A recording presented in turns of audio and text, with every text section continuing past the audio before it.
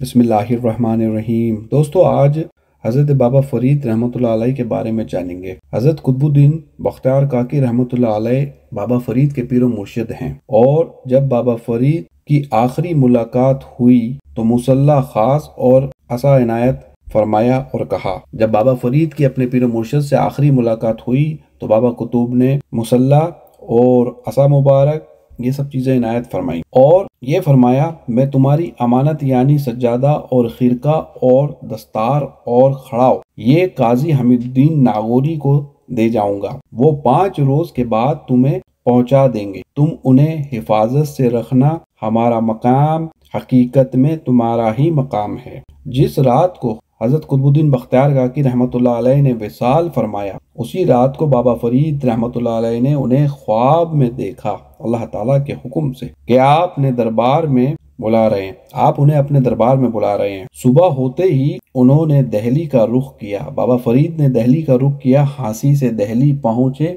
पहुँचे चार दिन में।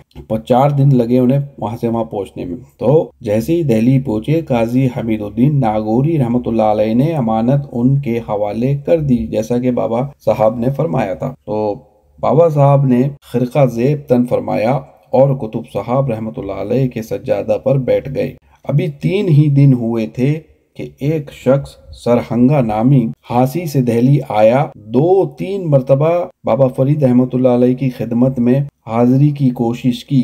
दरबान ने अंदर आने की इजाज़त न दी। एक दिन बाबा फरीद अहमत घर से बाहर निकले तो सरहंगा मौके पर पाँव पर गिर पड़ा और भर्राई आवाज़ में कहने लगा, जब आप फांसी में थे तो मैं आसानी से आपको देख लिया करता था।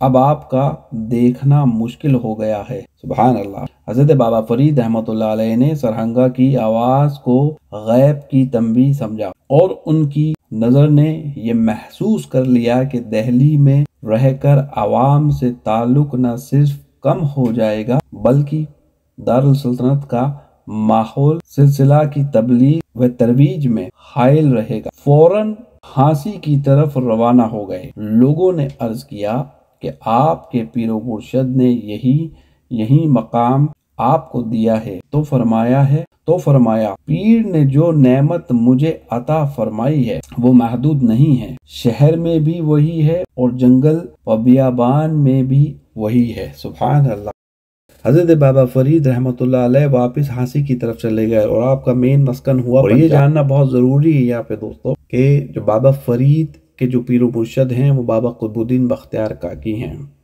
और जो बाबा कुतुबुद्दीन बख्तियार काकी रहमत के पीर मुर्शद हैं, वो सुल्तान हिंद हजू गरीब नवाज़ रदी अल्लाह तु हैं।